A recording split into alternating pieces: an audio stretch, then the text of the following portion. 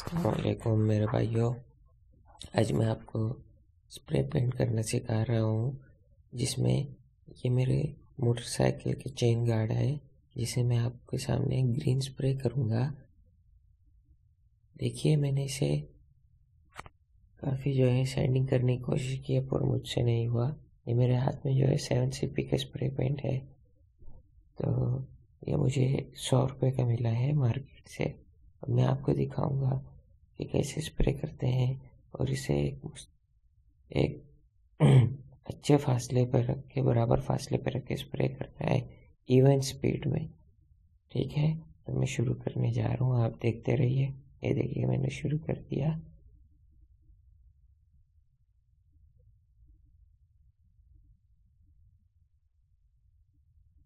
अब मैं इसे थोड़ा सुखाऊँगा। जिससे इसके बाकी काम किया जाएगा। तकरीबन एक घंटा में इसे सुखाऊँगा।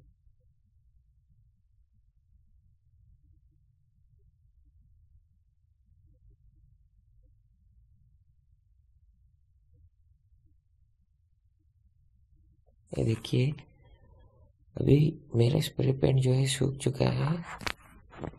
अब मैं इसके ऊपर काफ़ी थोड़ी सी डिज़ाइनिंग कर चुका हूँ और बाकी डिज़ाइनिंग मैं आपको करके दिखा रहा हूँ, इसके ऊपर कैसे करते हैं, ये मेरे हाथ में वाइटो है जो आपको बुक स्टोर से मिल जाएगा। वाइटो रिमूवर कहते हैं इसे। इससे मैं आपको काम करके दिखाऊँगा। अभी मैं ट्राइंगल टाइप शेप्स बना रहा हूँ। इसके ऊपर वाली सतह पर असल में थोड़ी फ्लैट नहीं है। ये जोड़ी गई है, इसलिए ये इस तरह नज़र आ रहा है।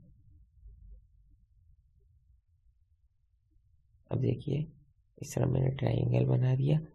तो ये चीज़ें आप इंटरनेट से सीख के भी डिज़ाइनिंग करना सीख सकते हैं। इसके ऊपर मैं वाइट इसलिए कर रहा हूँ ताकि ये ग्रीन लेयर जब मैं इसके ऊपर ग्रीन पेंट करूँ तो नीचे वाली जो सतह है, वो डार्क हो जाए और सफ़ेद वाली लाइट लाइट ग्रीन हो जाए।